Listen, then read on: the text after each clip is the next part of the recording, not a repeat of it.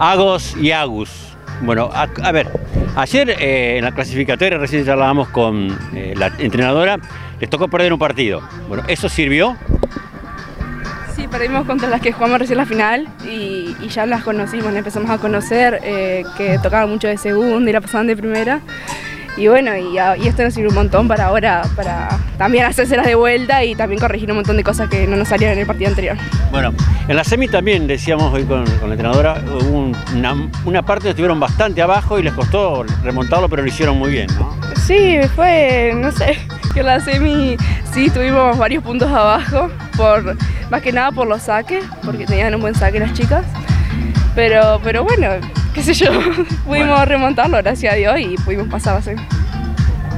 La emoción de que papá, mamá estén aquí en Cerrito acompañándolos es muy fuerte, ¿no? Sí, está bueno porque tenés gente apoyándote que sabés que quiere que ganes y bueno, está bueno. ¿Pensaban que iban a ganar? Eh, la verdad no. Yo estuve con ella, por ejemplo, me- ayer estuvimos y me decías este, que era complicado y no te tenías mucha fe de llegar a la final. Y no, porque nosotros veíamos de afuera a las chicas y decíamos, uh, no, a esta no le ganamos ni en pedo. Ajá. Y, y bueno, y, y se dio, qué sé yo. ¿No te tenías fe? ¿Qué pasó ahí? Y no sé, como nunca habíamos jugado beach antes y la, la última vez que habíamos jugado los de Vita, los departamentales, no, habíamos jugado horrible. Dijimos, bueno, capaz que en los entrenamientos nos va bastante bien, pero en los partidos no sabemos cómo vamos a reaccionar con los nerviosismos y, y todo lo que... Lo que significa. Claro. Bien, ¿y cómo es esta mezcla del indoor y el beach? O sea, ¿están jugando el torneo, están jugando el beach? ¿Se siente el físico? Eh, no sé si tanto en el físico, pero más la técnica, que eso sí cambia bastante, pero bueno, hay que acostumbrarse. Bueno. Se van a Mar del Plata, ya saben, sí. Bueno, ya tienen fecha.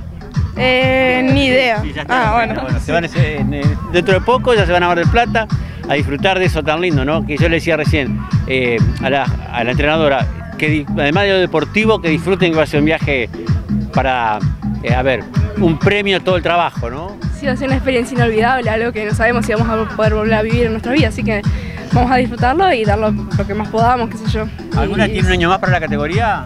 No, O sea que es el último año. O clasificamos o nos despedíamos. claro. Después queda su 16, pero más difícil. Es más difícil. Claro, Y más competitivo. claro. Bueno, felicitaciones, disfrutar y que bueno sea este un gran premio. Dale, gracias. Muchas gracias.